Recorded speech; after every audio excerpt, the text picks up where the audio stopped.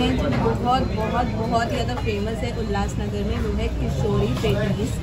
And ये यहाँ पे किशोर पेटीज में जो मिलता है, वो खाते हैं, वैसे ही उनकी एक पैटी तैयार करते हैं वो लोग। उसमें ये लोग छोले का जो फ्लेवर होता है, वो डालते हैं, छोले का प्रिपरेशन डालते हैं।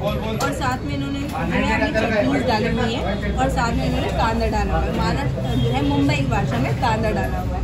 तो गाइस इसमें मैं टेस्ट करती हूँ फ़र्स्ट टाइम टेस्ट कर रही हूँ। तो चलिए स्टार्ट करते हैं। बहुत ज़्यादा गर्म है। और मैं बता दूँ कि बहुत ज़्यादा फ़ेमस है और मतलब बनता रहता है और कस्टमर्स आते रहते हैं और मतलब फ्रेश बनता रहता है। गर्म गर्म आपको एकदम मिलेगा, बिल्कुल गर्म गरम तो मैं आपको अभी दिखाऊँगी अभी कितनी ब्यूटीफुल है। पहले फ्राई कर लेते हैं। तो देखिए, आलू है। आलू के और यहाँ पे छोले हैं।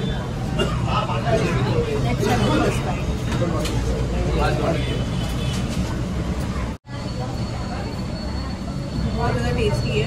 आलू की जो पेटी है वो बहुत ही ज़्यादा और सॉफ्ट है।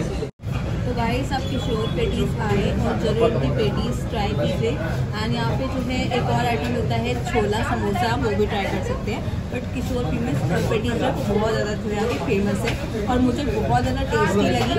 तो चलिए चलते हैं दूसरी प्लेस पे।